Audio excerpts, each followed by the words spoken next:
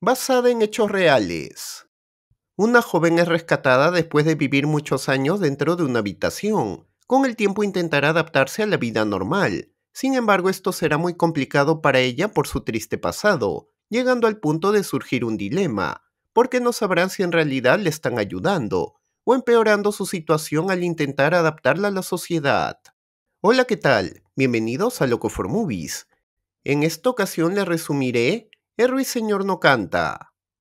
La película comienza con una pequeña llamada Katie, sentada en una silla dentro de un cuarto. Años después se encuentra sujetada en el mismo lugar. Los años siguen pasando y la joven ya está grande. Mientras cerca a ella cada cierto tiempo se escuchan unos gruñidos.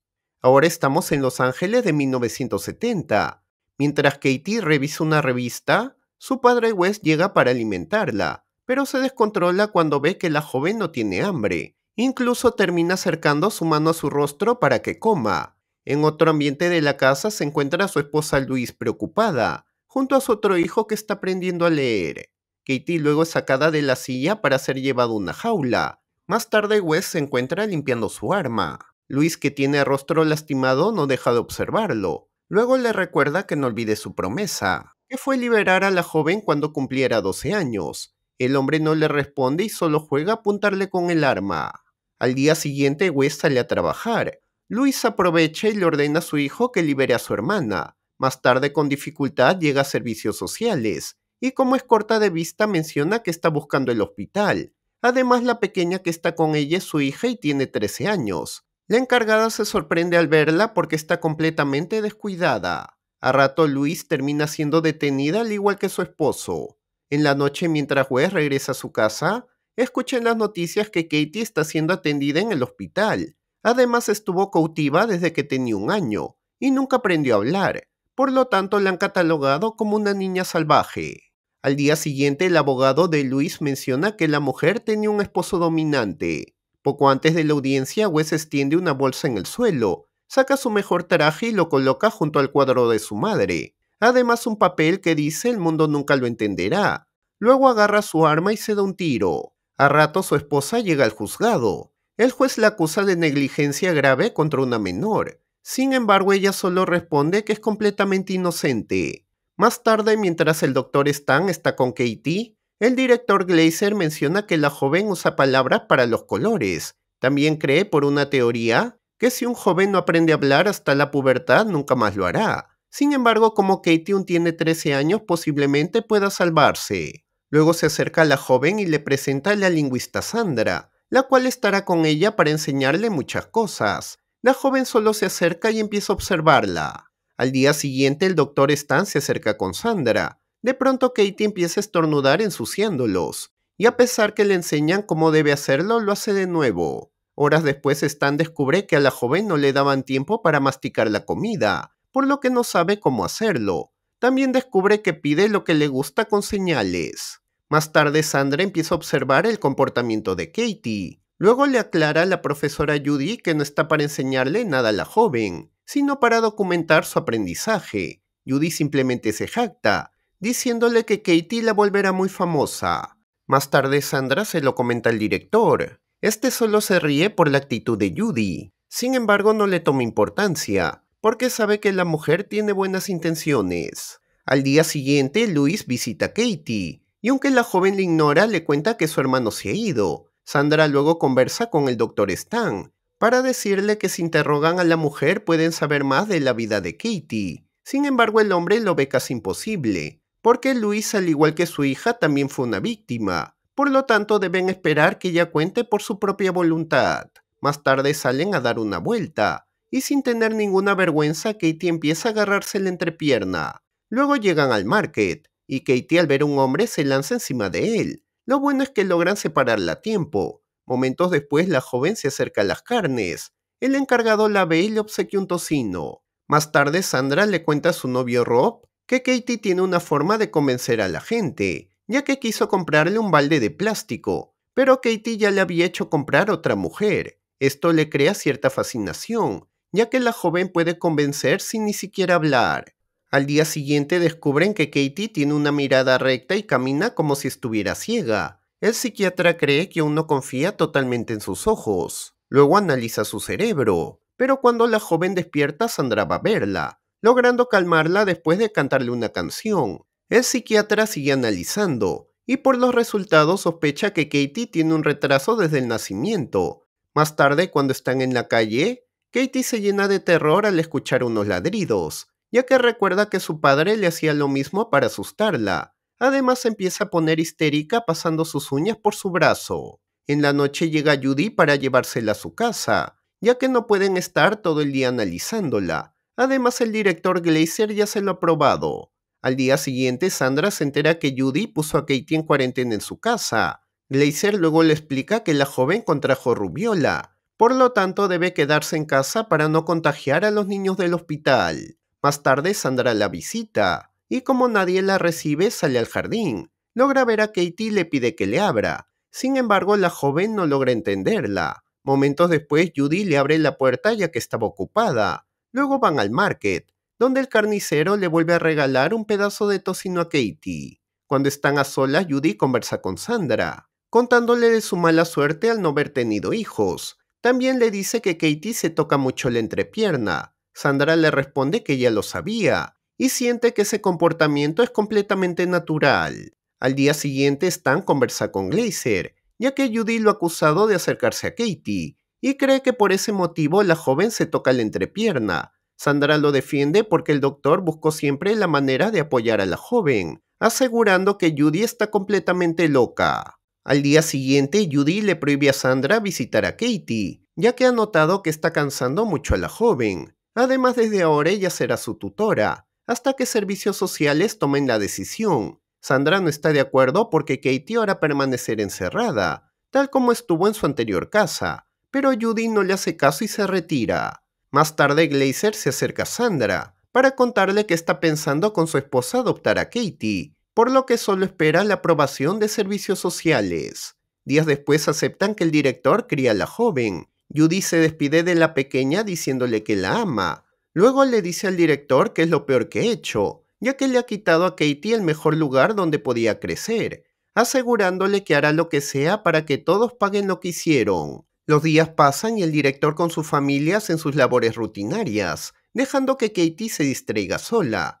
La joven revisa un libro donde salen perros y se asusta. La esposa del director intenta calmarla, logra conseguirlo copiando su mismo comportamiento, y con los días logra enseñarle una forma de liberar su estrés. Además, la joven empieza a aprender a leer. En ese momento, Sandra la ha visitado y aprovecha en tocar el piano. De pronto, Katie empieza a recordar cuando estaba en su antigua casa.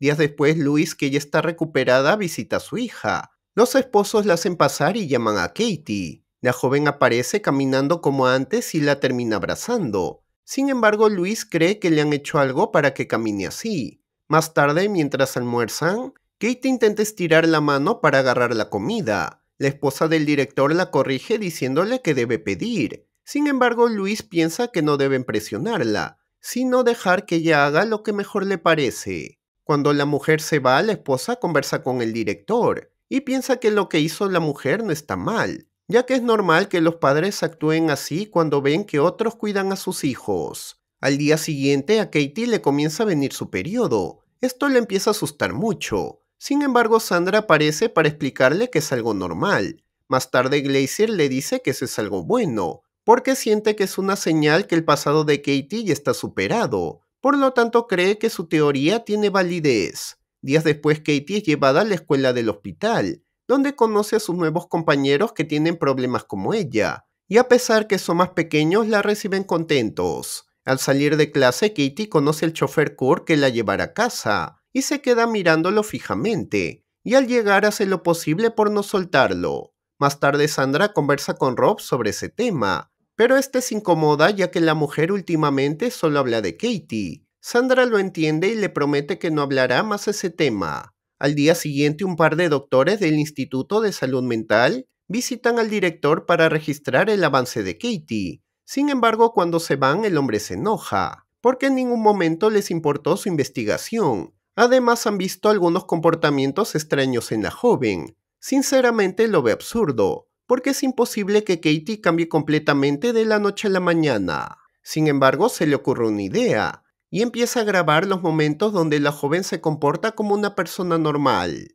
Más tarde en la escuela, Katie se dibuja junto al chofer Kurt. Además le agrega una gran entrepierna. Su compañero se lo quita y se queja con la profesora. Pero Katie se enoja y le acerca su mano a su rostro. Más tarde, cuando Sandra toca el piano, Katie comienza a recordar los gritos y golpes de su padre. Esto la llena completamente de terror. Sandra se sorprende y trata de hacerla sentir bien. Luego la lleva a la playa, y mientras la deja jugando conversa con Luis que la ha visitado, contándole que se enteró por Katie que su padre la golpeaba con el garrote. La mujer confirma que lo hacía solo cuando Katie gritaba, y luego la controlaba gruñendo como un perro. Pero con el tiempo la joven entendió y dejó de hacer eso. Luego le hace ver su molestia, porque piensa que a Katie ya no le están cuidando bien, ya que los esposos no le permiten pasar a su casa. Sandra piensa que no es así, porque sabe que Glazer hace lo posible por darle una buena calidad de vida. Más tarde Sandra lleva a Katie a su casa y le presenta a su novio. La joven lo observa y luego lo lleva adentro, para regalarle un vestido que creó con la máquina de coser. Sin embargo, hasta el momento no puede articular ni ordenar bien sus palabras. Al día siguiente, Sandra le dice al director que Katie no está progresando nada, ya que ni siquiera puede crear una oración gramatical. Pero por otro lado ha visto que la joven busca maneras para que le entiendan, por lo que deciden empezar a enseñarle el lenguaje de señas. Días después los doctores del Centro de Salud Mental vuelven a visitar a Katie. Más tarde Sandra le cuenta a Rob que se llevarán a la joven, ya que los doctores no han visto ningún cambio en ella. Horas después, Glazer regresa a Katie a la casa de su madre, enterándose que la mujer ha habilitado una habitación para ella. Katie luego sale a la ventana y ve con tristeza cómo el director se va del lugar. A los días Sandra visita a Katie y encuentra a una mujer con Luis. Al suponer que ha sido enviada para evaluar a la joven, les dice que pronto aprobarán para que siga trabajando con Katie. Sin embargo, cuando se va, Luis no le cuenta quién realmente es, la mujer luego le confiesa que no aguanta a su hija, porque se agarra la entrepierna y deja su saliva en cualquier lado. Esto ha hecho que piense llevarle un psiquiátrico, asegurando que nunca le enseñó nada de eso. Sandra solo le aconseja llevarla a servicios sociales, ya que ellos le buscarán un buen hogar, porque lo único que Katie necesita es una buena familia. Tiempo después, Katie encuentra nuevos padres, los cuales son más religiosos y un poco conservadores, con los días la joven empieza a llevarse bien con las hijas, pero les prohíben usar por ningún motivo el lenguaje de señas. El fin de semana la familia sale a misa, y al ver que Katie lleva su collar se lo quitan a la fuerza, ya que está prohibido llevar adornos a ese lugar. Por otro lado, Judy se encuentra con Sandra en el market, y le cuenta que revisó el nuevo libro que publicó, llamado El joven salvaje moderno, pero en vez de felicitarla le dice que ha mentido, porque todo el tiempo que Katie estuvo con ella, no tuvo ningún problema en armar oraciones gramaticales. Al día siguiente, Katie regresa a su desayuno, pero luego se lo vuelve a comer. El padre no aguanta su actitud y la bofetea. Sandra luego la visita y los padres le cuentan lo que hizo. Además la han castigado privándola de ver a su madre. Y a pesar que saben su pasado, no tienen consideración por ella, porque sus demás hijas adoptadas sufrieron casi lo mismo,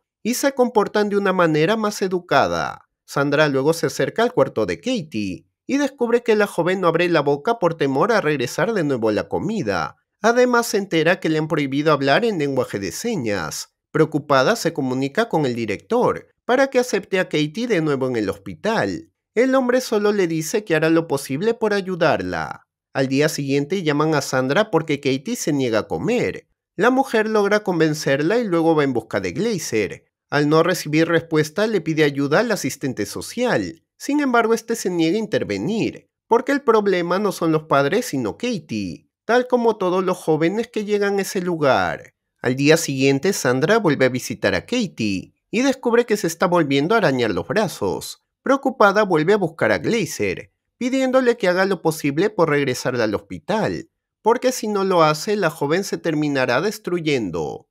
El director logra regresar a Katie al hospital y le presenta a Sandra la nueva doctora que la cuidará. La mujer luego piensa que Katie debería vivir con ella, ya que la conoce desde hace mucho tiempo y se lleva muy bien. Sandra luego lo consulta con su novio. El hombre deja que ella decida, pero le pide que antes piense en la relación y en sus estudios. Días después, Sandra tomó una decisión y va en busca de Katie, pero descubre que se la llevaron a vivir a otro lugar. Además, se fue acompañada de su madre. Sandra va en busca de Luis para saber dónde está su hija. La mujer se niega diciéndole que sabe que es lo bueno para Katie. Luego se tranquiliza y le invita a pasar.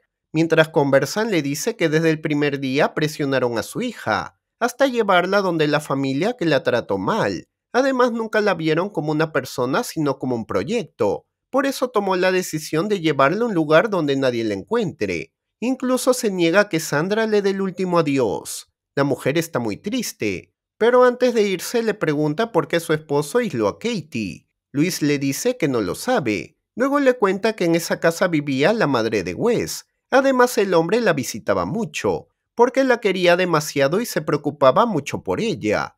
Pero un día la anciana cruzó la pista y un carro acabó con ella. Wes quedó muy devastado y se mudó con toda su familia a esa casa, pero obligó a todos a dormir en la sala, porque quería mantener la habitación de su madre intacta, mientras a Katie la acomodó en la habitación que quedaba.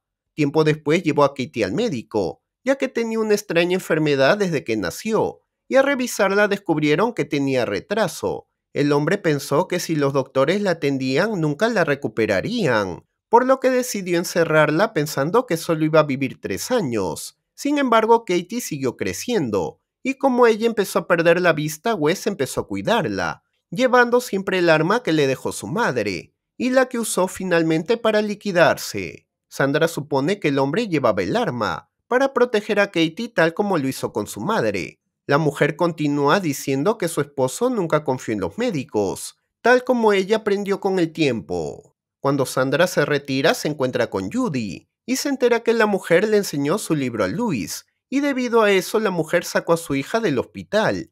Además descubre que se lleva muy bien con ella. Mucho tiempo después, Sandra escribe un artículo donde menciona sus deseos de volver a ver a Katie y disculparse con ella si le hizo algún daño, porque no todas sus acciones fueron por decisión propia. Además le preguntaría todo sobre su vida y si es feliz. Sin embargo, sabe que no podrá devolverle todo lo que perdió, porque ahora está viviendo un nuevo capítulo en su vida, dando por finalizada la película.